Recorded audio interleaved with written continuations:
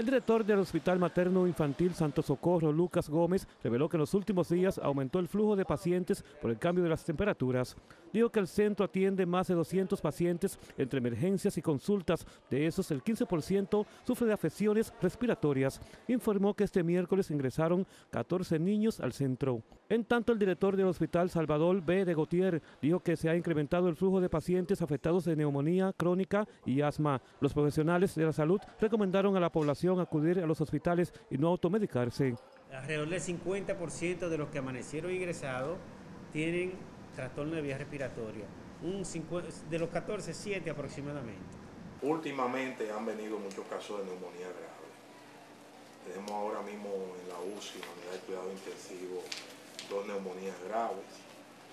Y podemos decir que sí, que, que se ha notado un incremento de las infecciones respiratorias, también en adultos, en pacientes ancianos, debilitados y en pacientes con patologías crónicas. Madres que acuden al Hospital Materno Santo Socorro mostraron su preocupación. Yo vine de ayer, ella tenía fiebre y en la noche vomitó y se congestiona después del cambio de clima, le da fiebre, amigdalitis. Nada, recetándome jarabe y gota y uno gastando cuarto.